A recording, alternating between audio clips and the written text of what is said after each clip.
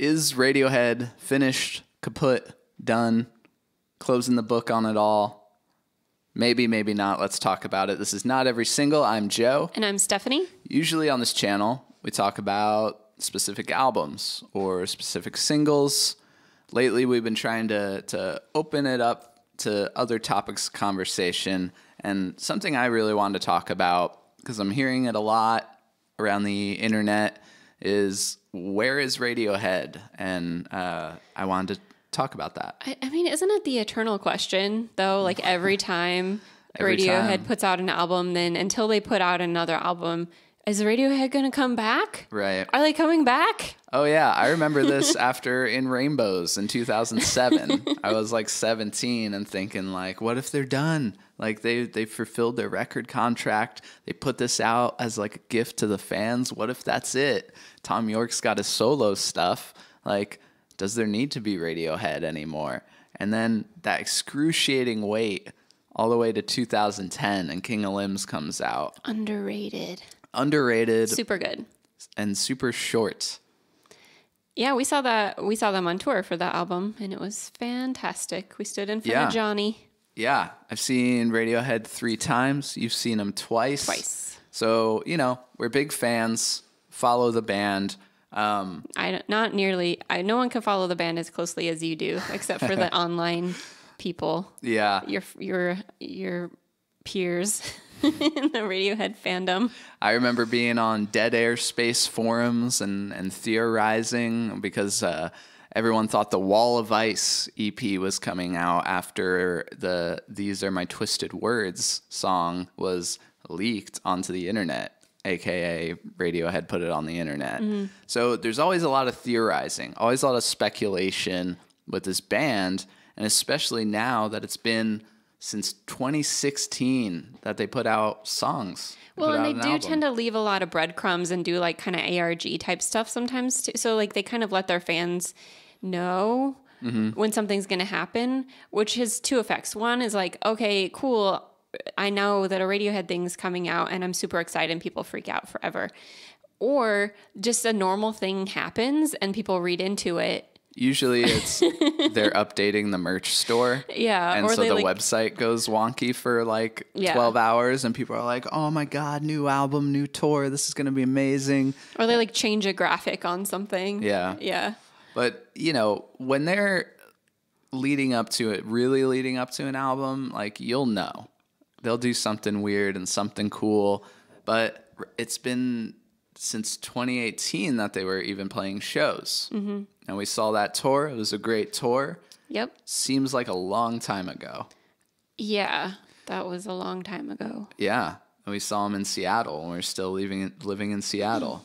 Well, we were still living there like eight months ago. So so where is Radiohead? Well, obviously, Thom Yorke and Jonny Greenwood have their new project called The Smile, and they're currently on a tour, and they have a, an album out.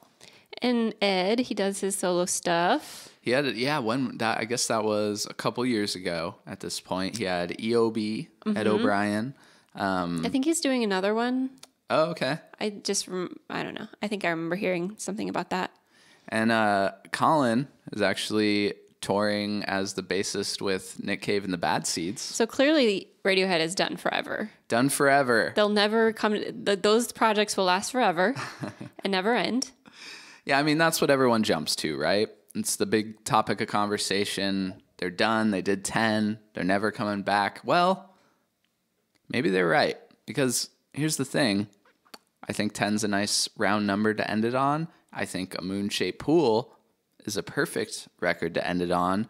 And if they did come back and do do an 11th record, I don't know. I have a hard time wrapping my head around like what more do they have to do? What more does this band have to say? Mm-hmm. Yeah, they seem to be like, you know, they're they're still great. It's not, you know, it's not as like you know, Kid A and OK Computer were like these really landmark albums that yeah. like changed a lot of things and changed the way people thought about rock music and mm-hmm. and music in general. And they're not gonna probably not gonna put another album out that like changes the entire landscape of music again. yeah. Yeah, and and I think you know, Moonshaped Pool, when it came out, it still made a huge splash and was a big deal. But yeah, like you're saying, it's far from the bigness of Kid A. Now, that's not to say that every record needs to be this monumental cultural s- shifting smash hit for it to exist. But I just I think about Moonshaped Pool and what's being said on that record and its thoughts on on life, on death, on things coming full circle. I mean, look at the album cover. Think about True Love Waits finally making its way to an album when it's a song they've been working on since like the Bends. Mm-hmm. It there is this fine Finality. finality to it. And it makes sense that it would be their last record. Does that mean they'll never tour again? Probably. I, I imagine they'll tour. Of course, I think they'll tour. And I, don't- you know, I don't necessarily think like people read so much into everything they do, and certainly they like, um, they put a lot of thought into everything more so than a lot of bands do. There's a lot of things if you like dig into it in the lore, like there are things that you can uncover, Yeah. Um, but I don't necessarily know that they like think that way. You know what I mean? No, and we're gonna cite this interview with Ed O'Brien, and I should have the I should have had the article pulled up so I could say where it was from and cite our sources. I guess I'll do that in the description. link in the yeah. Yeah, but Ed is saying, hey, Radiohead is this thing where five people who have separate lives and separate projects need to come together at the same time and say, like, hey, I'm ready to do this. Mm-hmm. And that's how the band is treated. Mm-hmm. So the planets kind of need to align correctly for it to happen. Mm-hmm. And I think when it's not happening, I don't think they really think about it. No, it's like they're doing, yeah, they're all doing projects. They have a lot going on. And you can't just be like, okay, so like next year we're going to get together and do Radiohead. It's like, who knows what's going to be Yeah. happening. But like, it's not that they're all, they're sitting there going, you know, well, it's too hard. We're not going to, or we're too, too busy. Um, so, I would, yeah, I would go so far as to say that I doubt the members even know if there's going to be another album or not.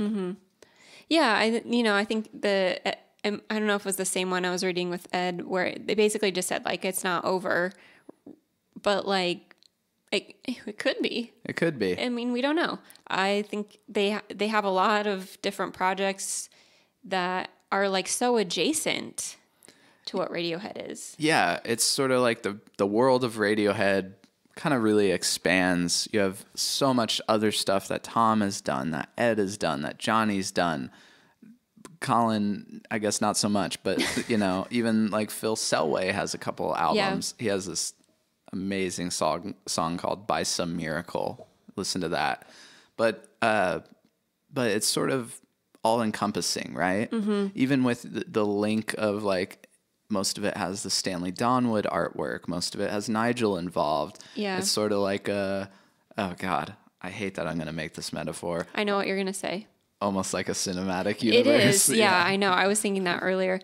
um, but like we've talked about this before too, is the line between so, you know, Thom Yorke put out The Eraser 2006. and then he put out uh then was it Atoms for Peace after that or was there there was another solo? Yeah, yeah, it was uh, uh, the Eraser. Then they came back for In Rainbows, um, and after King of Limbs, there was uh, there was another Thom Yorke solo thing, which was a, a really cool single, feeling pulled apart, apart by horses on the A side and the Hollow Earth on the B side. Which, fun fact, was the first record I ever bought. Um, was that 12 inch, and uh, he put together a live band to start playing the solo stuff, and then that became Atoms for Peace. Mm-hmm. I would have preferred that it all just kind of stay under the nice, neat umbrella of being Thom Yorke. so now there's all these other things going on. It starts to get a little messy. It's like there's Anima, there's this Is that how it's said? Mm-hmm. Okay. I think. Anima? Anima. Anima of the state? No. uh, and then there's Suspiria soundtrack. You know. yeah, there's, which is like kind of like a solo album, but also a score. Yeah. Yeah, there's It's there- getting unwieldy. and there's even like a weird thing where when he plays Tomorrow's Modern Boxes and some other solo stuff with like Nigel and another DJ guy, when they do that live, it's like Mm-hmm. billed as like Thom Yorke's Tomorrow's Modern Boxes. It, it starts to get kind of confusing, and now the Thom Yorke presents. yeah. And now that you got the smile going, it's like, well, they play Feeling Pulled Apart by Horses, but they don't play Radiohead. And so I would love to see them come back together as Radiohead and at least tour. Rebrand everything. It's all just Radiohead. It's all Thom Yorke. I used to feel that way when it was just the eraser. yeah. Like, now- why isn't that Radiohead? Yeah, because then you look at the, uh, you know, uh, the credits for the eraser, and it's like, oh, it like has Colin and Jonny and like Mm-hmm. Yeah, maybe has like most yeah. of the people in like, Radiohead. it could have just been a Radiohead record, and it's produced by Nigel. It's like King of Limbs has an extra drummer. Shouldn't that be a different band? uh, you know, it's it. I'd love to hear your thoughts on this because you know, if we're talking Radiohead on the internet, obviously there's going to be people with differing opinions, and we want to hear them because this band might not put out another album, and I think if they don't, I'm very happy and grateful for their discography. Um, obviously, I hope they tour, um, but I I don't feel like I need another album. Do there's you so feel like yeah, there's so much. there's 10, Yeah, like 10 albums? you're never gonna hear a, even a fraction of the songs you want to hear live when you see them. And I okay, we'll we'll wrap it up on this. Think just think about this because this is kind of a something I've been thinking about lately. If they do call it quits, say there's no more records, we're gonna tour, which I doubt they would even come out and say. Mm-hmm. But if that's the case, we can start getting into some archive releases. That's what I really want. I want to hear like that earlier version of Full Stop or Identikit that they did at like Jack Oh White's gosh. studio. Remember, like Identikit on the tour for King of Limbs was so cool. Identikit and Full Stop Yeah. were both like very like uh, synth driven and a little colder Mm-hmm. on the King of Limbs tour. Kind of sounded more like that record. Right. I was really all in on that sound. And then you know they come out in Moonshaped Pool. They sound a little more grounded, a little more organic. But that's the kind of stuff I want to come out. I would prefer that to a new record. I want to hear give it give it give me all the extras, all the bonus stuff. I want bonus features, B-sides, unreleased stuff, studio footage, live DVDs.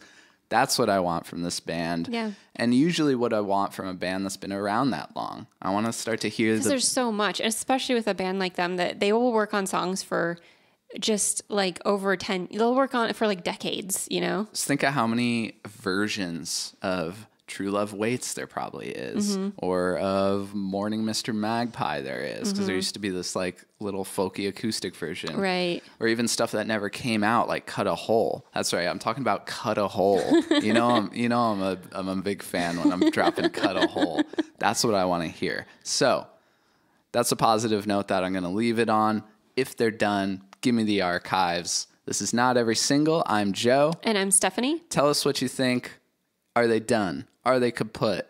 Is the book closed on Radiohead? Have you seen them live? What'd you think? Would you like to see them again? Bye. Bye.